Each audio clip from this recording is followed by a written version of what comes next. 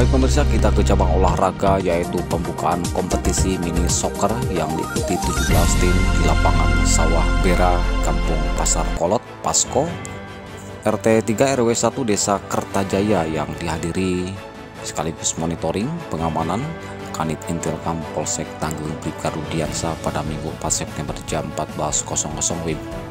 Giat pengamanan dan monitoring pembukaan turnamen mini soccer untuk usia anak 6 sampai dengan 13 tahun yang merupakan pembinaan anak usia dini lalu diarahkan sesuai hobinya mereka yaitu sepak bola. Hadir panitia aparat setempat, ketua tim masing-masing, para orang tua dan warga masyarakat.